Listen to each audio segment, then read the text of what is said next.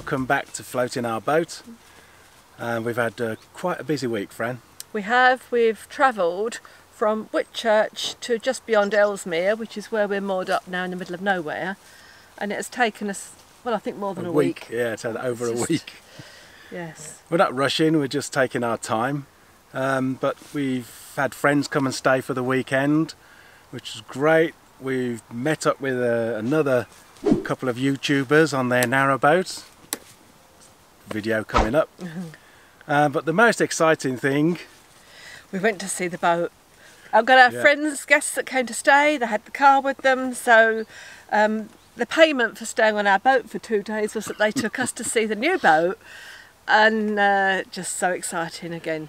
So we went back to Middlewich to Elton Moss Boat Builders and uh, actually got on board this time. Uh, it's in dry dock, the boat. It's been shot blasted back down to the metal and uh, had its first coat of primer on the top. Uh, but inside it's just been spray insulated with foam and there's wires here, there and everywhere Oh my dangling god, around. yeah. And because we've changed the layout of it, there's some rewiring has got to be done, hasn't it? They've got to move electric electricity points over, plug sockets over, um, which is the next stage. And then I think we've got to choose colours really quickly because I think they're going to be undercoating, Yeah, we've uh, we've got a good idea of what the colour combination is, but um, the colour red we want to use. Lots of people have said, "Oh, it fades quickly," and that, so we need some advice on that. The boat still has no name. We've got a few names in mind, but we just can't decide at the moment. So, yeah, we're not keeping it a secret. We're really not. We just can't decide, no, can we? no, So, we've got we've got about three or four names, and we'll whittle it down to two, and um, then we'll probably decide the day that it's launched. yeah, yeah. but the great thing is also about the boat that it's going to be number 100. Oh yes, how lucky is that? And that hasn't been worked out. It's just how it has happened that ours is boat number 100. So it's a bit of a momentous occasion for Elton Moss as well, isn't it? Really? Yeah, so we'll have to come up with a good name for that, won't we? Because they paint they paint they paint on the side of the boat the the name of the boat builders and the number of the boat. So it's going to be number 100. Yes. That's how coincidental is that? That's amazing.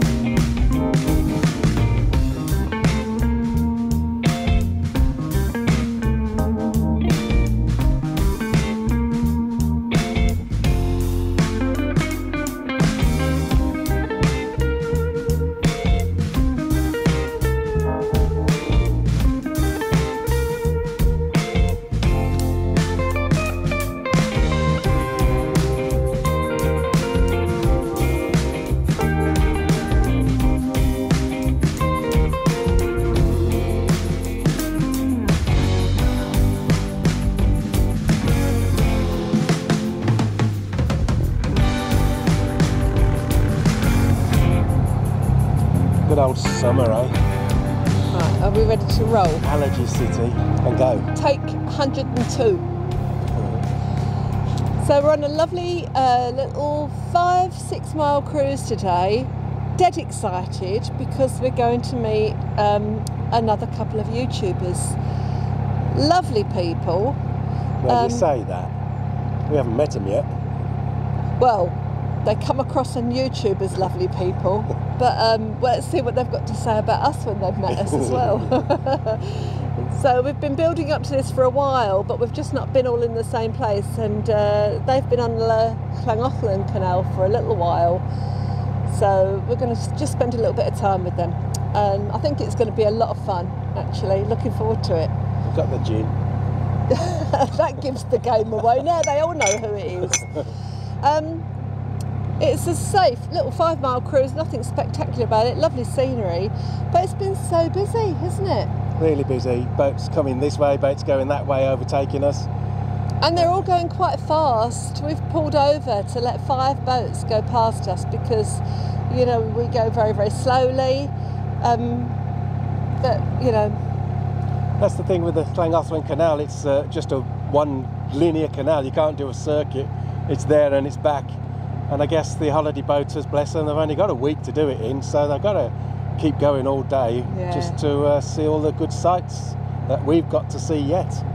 yes. And it's no problem to us, you know, we, we don't like being followed, we don't like having a boat behind us, it just feels like it puts us under pressure, so we'd rather just pull over and let them go. Yeah, It's just easier for everybody. it is. I've got a boat coming towards me through the bridge now. That's fine, plenty of room. But um, and if Rich looks a bit red-eyed, he's not been crying. I've not been mean to him. Don't threaten me. He's just got a little bit of an allergy attack again. A little bit. It's Um, just uh, summer fun. It's welcome to our world of misery. Any remedies will be greatly received. They're on the bottom. Oh, Bottom. they got stuck. You okay? You stuck? You'll be alright, will you? I think somebody else just got stuck before you as well, so. It's the second time down this stretch. Oh, is it? What fun, eh? It's quite big, this thing. We go, there's no water, it's so. Look how slow we're going. We're gonna hit the bridge. I can't get up. We're not going anywhere. Why are we stuck? That's just bizarre. Go on, Gil. I don't think I can.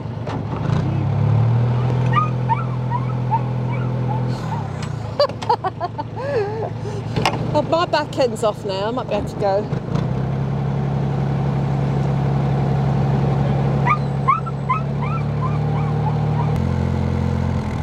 They're stuck again.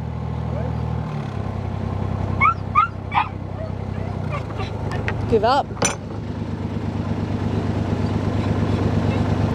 Right.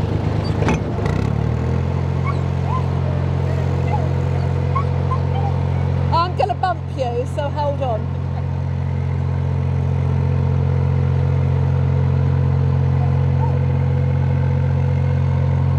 Maybe not.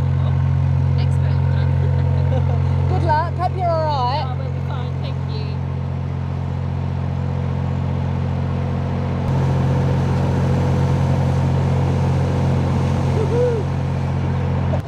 I've never known anything like that.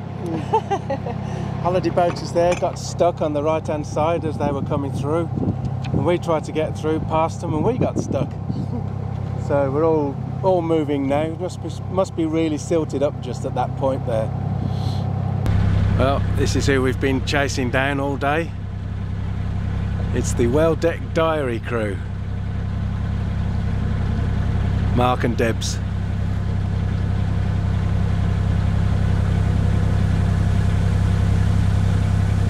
Mark, that's what you need to do. I Yeah, like that. it's I bit- want you bit- thinking. bit- Thank you, yeah. Cheers. Yeah. Cheers, cheers. Cheers, everyone. Cheers. Cheers. Nice to meet you. Oh, you've got empty glasses. That's fine, not too long. That's not, I was going to say that. Doesn't Here we are aboard with Well Deck Diaries.